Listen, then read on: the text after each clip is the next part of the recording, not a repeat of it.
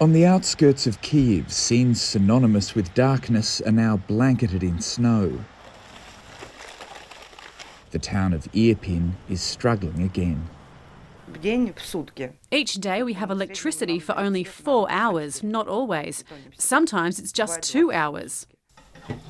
For months of rolling blackouts, Katya Nadish has cooked with a tiny flame as Russia's President Vladimir Putin launched crippling attacks on the power grid.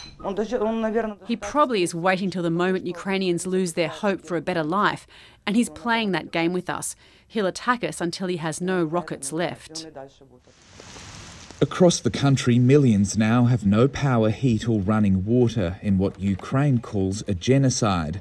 The strain on the power grid is worsening, and homes here could be evacuated again. There could be a full blackout, and we are preparing for that. The country's president predicts new attacks this week. He says too many in Kiev are without power and shelter and need more tents like these, where Ukrainians take refuge, do their homework, or just warm up with a tea.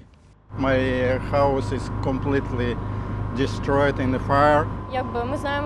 We know our country will win and everything will be alright. We're not planning to leave.